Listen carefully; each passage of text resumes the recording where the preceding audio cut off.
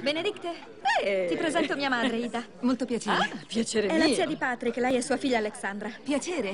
Che Sono genio. Ida. Si è portata una valigia spropositata, ma senza un paio di scarpe decenti.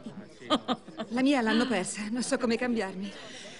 Detesto quando succede. E succede spesso. È un problema se penso a quello che ci è costato il volo. Tu hai dei capelli meravigliosi in compenso. È una parrucca. Sei anche spiritosa.